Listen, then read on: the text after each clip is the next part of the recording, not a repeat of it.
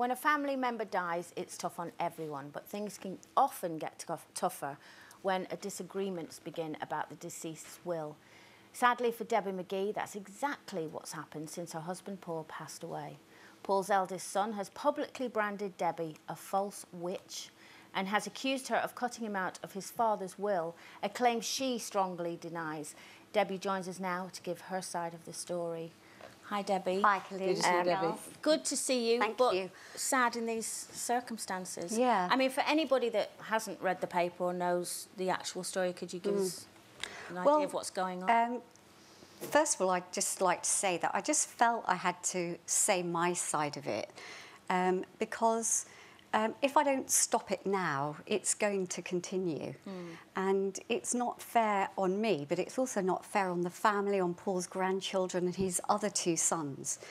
Um, but the, tr the truth is, um, he put in the papers that I've cut him out of the will, that I've closed the shop that he was working in um, and sort of left him destitute and I haven't given him enough redundancy money.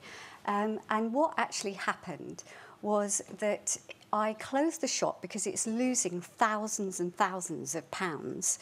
Annually? Yes. Yeah. And, um, and to keep it going monthly is a lot of money. And when somebody dies, um, when it's going through probate, which can take a few years mm. sometimes, all the money's frozen. So you don't actually have access to any savings or anything. And so I, cl I closed, I went up and closed the shop very quickly because I'd been with the accountant, we'd done all the figures. And this is where Paul Jr. was working, yes. he was running the shop. And I paid him two months um, uh, salary, so I knew he had two months, he could pay his rent and live like he was, and he could look for another job. And I also went to a human resources um, expert and said, you know, what redundancy do I, should I pay him? And they said I only had to pay him two years. But I said, no, I don't want to do that. I'd like to pay him for the nine years that he's worked in the shop.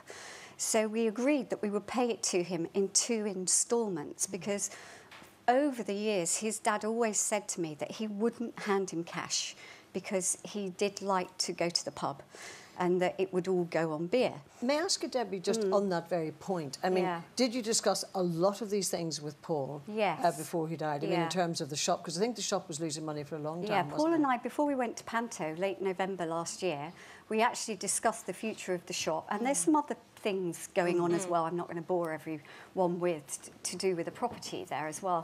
And put, his dad had actually set it all in motion. To close the shop? Well, we talked, he hadn't set that in motion. There were other things mm -hmm. that Paul mm-hmm. Jr. is accusing me of. But the shop situation, we discussed, right, okay, if we close it, we bring, we've still got six years on the lease. We just have to pay the basic expenses and rent. But keeping it going costs thousands more a year. And did you know that this hatred had built up in with your um, no, stepson? He said some horrible things about Yeah, him. no, he's you know he's been a problem child for years, and I've always been really close to the other two boys. The youngest is with We've me got today, Gary. Gary. Was here. Hi, Gary. Um, Gary. And yeah. Paul Jr., Paul and I, his dad and I, had always tried to help, but he'd never been very friendly to me. But he didn't show any hatred. He just mm. wasn't loving like the other two. But he wasn't loving. He's not loving to his own mother. He's not in contact with anybody else in the family. And when he says that, you know, he's had a good relationship recently with his dad, um, his Paul was a wonderful man, and this was his son, so mm. I would always support him.